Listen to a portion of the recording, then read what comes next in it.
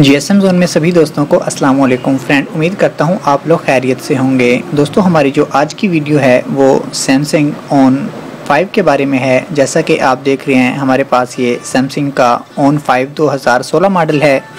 तो दोस्तों इसके लग, इसको लगे हैं पैटर्न कोड हमने इनके पैटर्न कोड को रिमूव करना है तो हम कैसे करेंगे? आइए सभी कुछ जानते हैं वीडियो में। तो दोस्तों सबसे पहले हम अपने मोबाइल को ऑफ़ करेंगे। ऑफ़ करने के बाद हमने करना क्या है? बहुत ही सिंपल है। हमने वॉल्यूम अप बटन और होम की को प्रेस करने के बाद पावर बटन को एक बार प्रेस करना है। जैसे ही हम पावर बटन को प्रेस करेंगे तो हमारा मोबाइल जो है, वो ऑन होगा। जैसे ही आपको सैमसंग गलेक्सी लोगो शो हो तो आपने पावर बटन को छोड़ देना है। और उसके बाद आपका मोबाइल जो है वो रिकवर मोड पे आ जाएगा। जैसा कि आप देख रहे हैं कि हमारा जो मोबाइल है वो रिकवर मोड पे आने लगा है।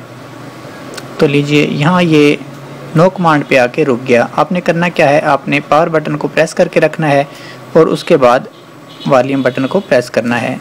कम से कम तीन सेकंड तक आपने पावर बटन को प्रेस करना है और उसके बाद आपने वॉल्यूम अप बटन को प्रेस करना है तो आपका मोबाइल जो है, नो कमांड से आगे आ जाएगा। तो उसके बाद आपने जैसे ही आपका मोबाइल रिकवर मोड में आए, आपने फैक्ट्री रीसेट को सिलेक्ट करना है और पावर बटन की मदद से ओके कर देना है और उसके बाद एक बार यस कर देना है। बहुत ही आसान मेथड है। उसके बाद आपने रिबूट सिस्टम नाव को ओके कर देना है तो आपका मोबाइल एक बार रिबूट हो जाएगा, यानी कि दोबारा ऑन हो जाएगा। जैसे ही आपका मोबाइल ऑन होगा, इसमें लगे तमाम पिन पैटर्न रिमूव हो जाएँगे। बहुत ही आसान मेथड है ये। तो अभी आपका मोबाइल ऑन होता है, हम आपको दिखा देते हैं। तो दोस्तों, आपने बहुत ही सिंपल सेटिंग कर देनी है स्टार्ट और उसके बाद नेक्स्ट नेक्स्ट एग्री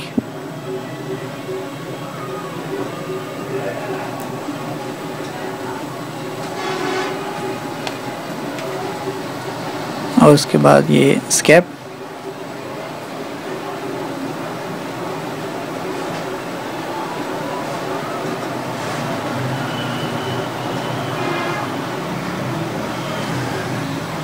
तो लीजिए, ये हो गया फिनिश और आपके इसमें जो लगे थे पिन पैटर्न और जीमेल अकाउंट वो रिमूव हो चुके हैं। तो दोस्तों, उम्मीद करता हूँ आप लोगों को मेरी आज की वीडियो पसंद आई होगी।